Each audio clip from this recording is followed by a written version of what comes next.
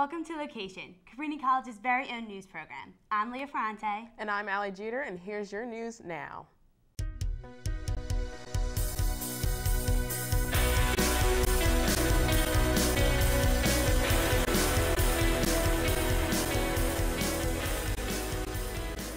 And here are your top stories from around the country. September 11, 2001 opened the eyes of every American, changed the way we see the world and how the world sees us. It's been 10 years since the attack on American soil. Let's take a look at Greg Stevens and 10 years later.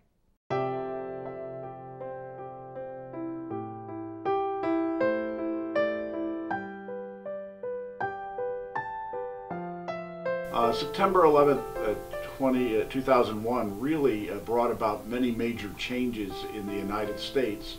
Uh, it was for my generation and your generation Pearl Harbor because the United States was in seemingly unprovoked attack by Islamic radicals right on our soil.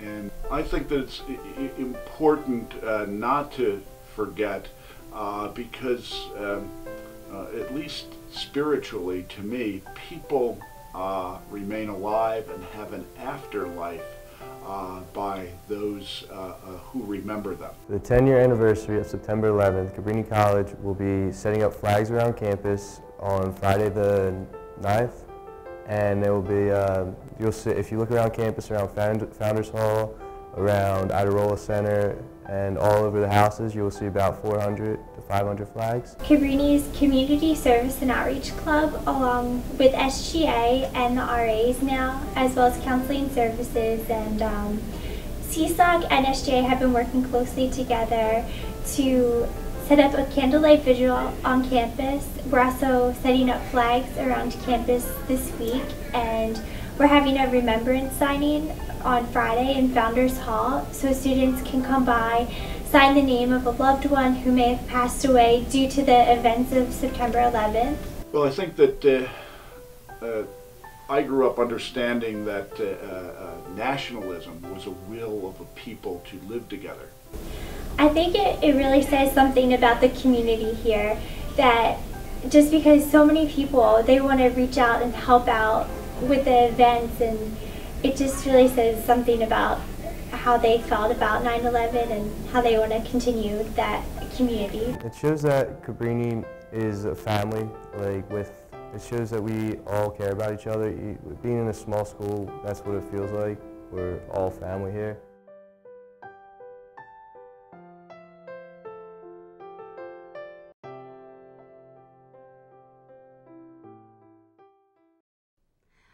Obama vows aid for damages from Hurricane Irene, but budget shortfalls in the Federal Emergency Management Agency have acted as obstacles for relief.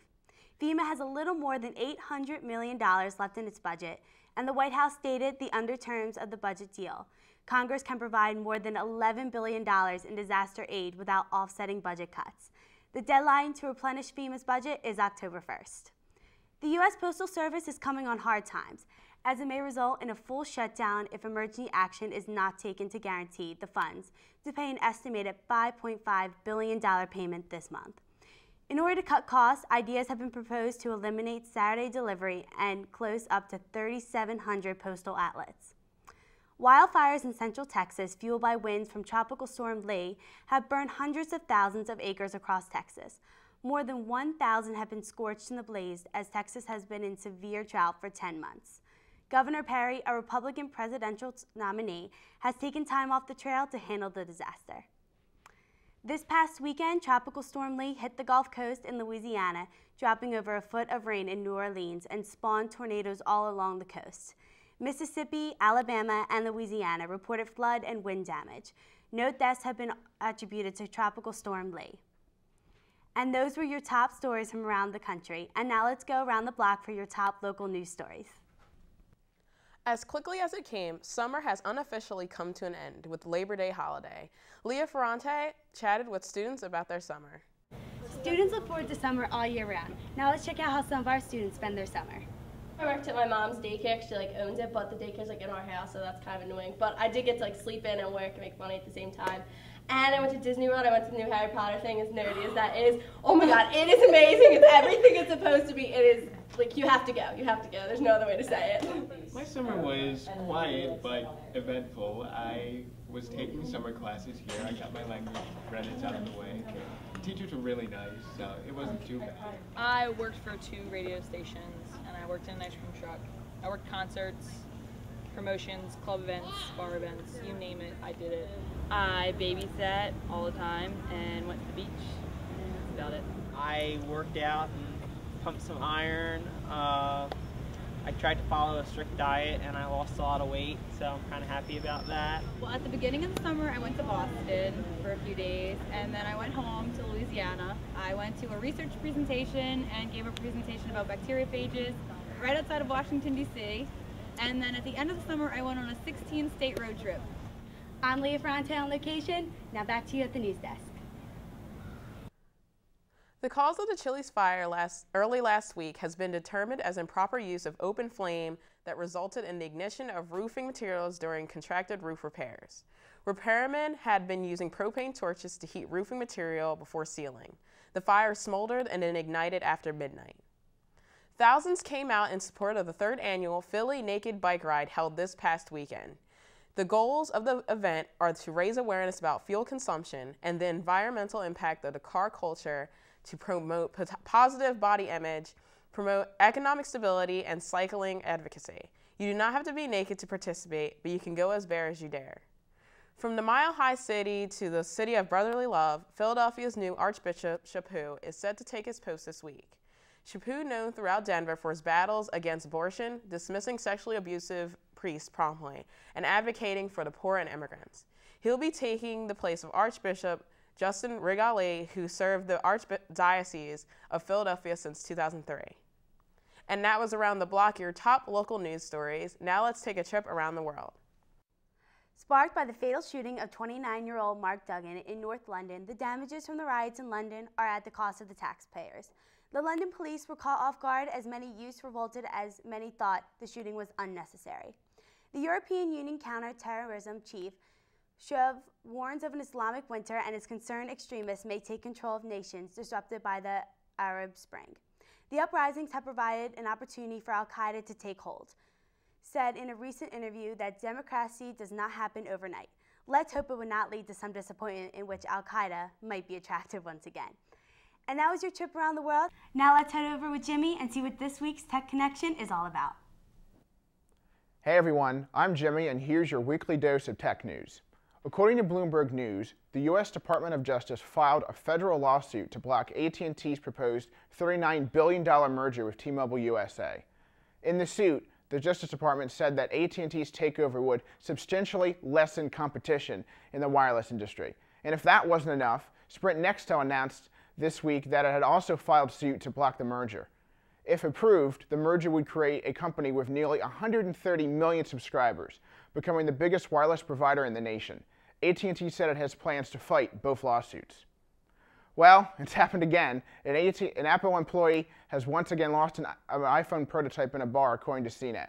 This time, the unreleased iPhone went missing in San Francisco's Mission District in late July. The next day, when San Francisco police and Apple's own investigators tracked the phone to a nearby house, the man who had lived there said he had no knowledge of the device.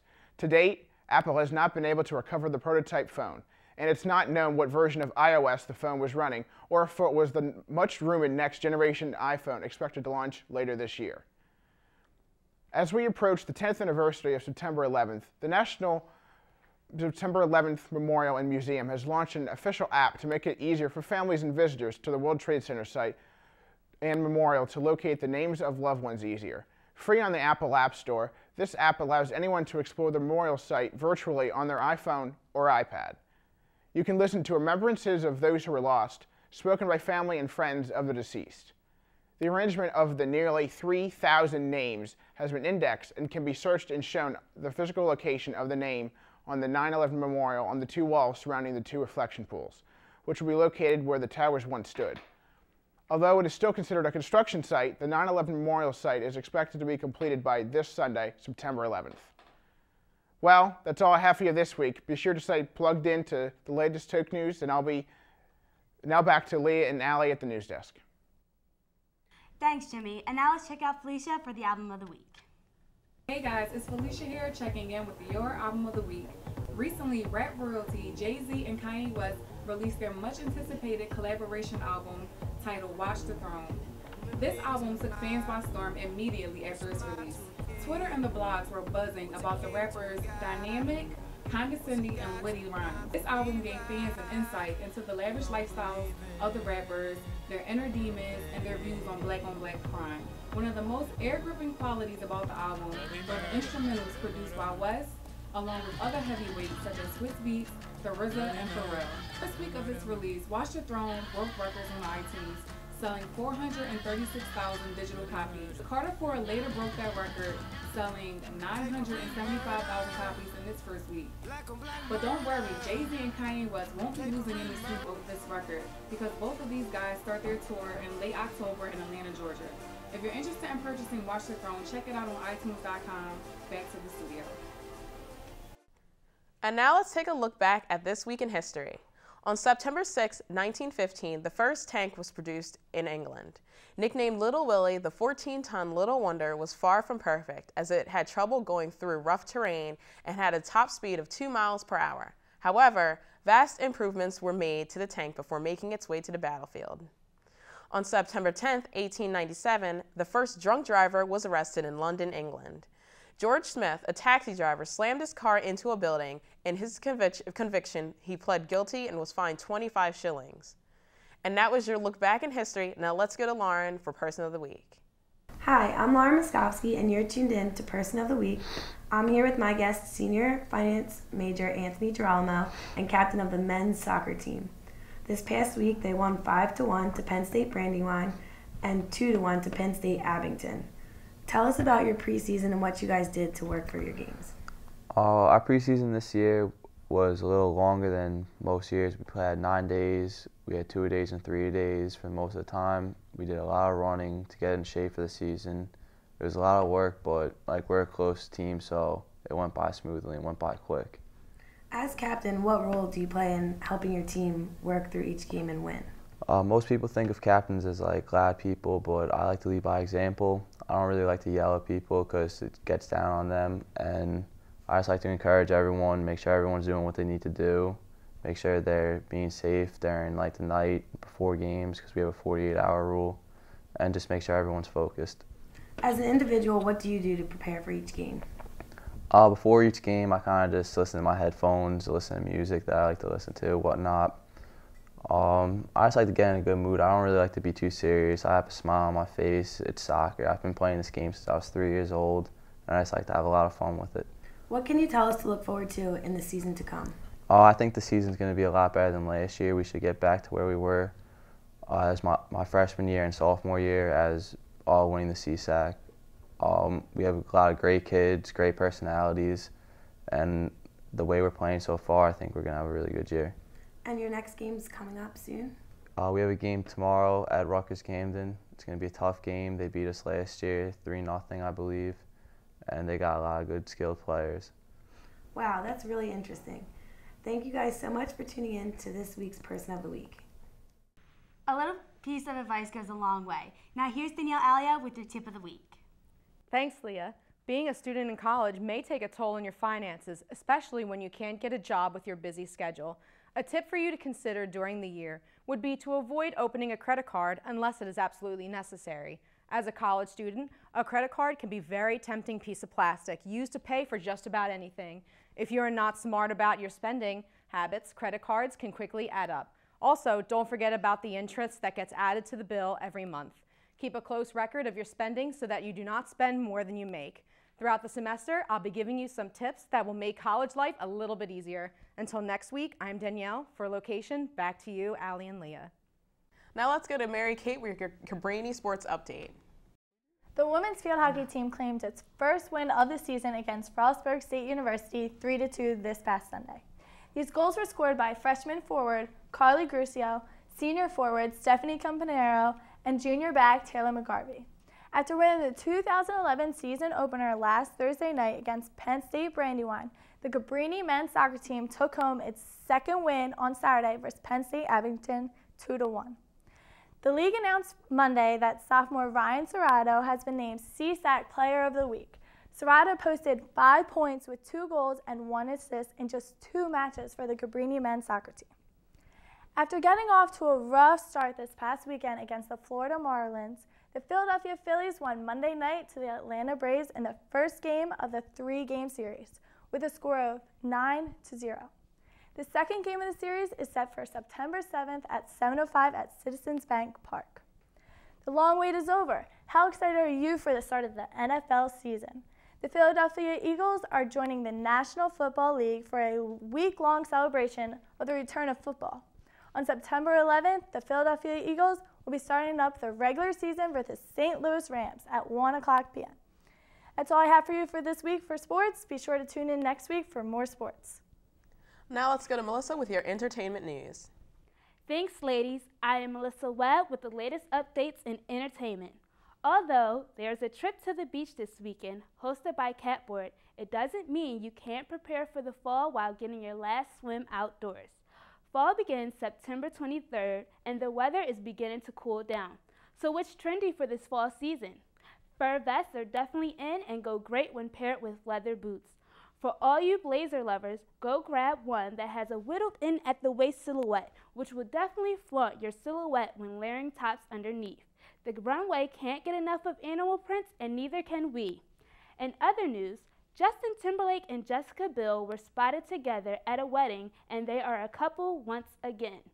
They split in March because Justin seems to have many links to some Hollywood A-list hotties, both before and after a, the breakup. He managed to win her over, but how long will it last this time? Regis Philbin announced that his last day on Live with Regis and Kelly will be Friday, November 18th. The Emmy Award winning host took the show from a local New York City program to being one of the most successful talk shows in daytime television. The show will continue to go on with co host Kelly Ripa, along with a newcomer to replace Regis.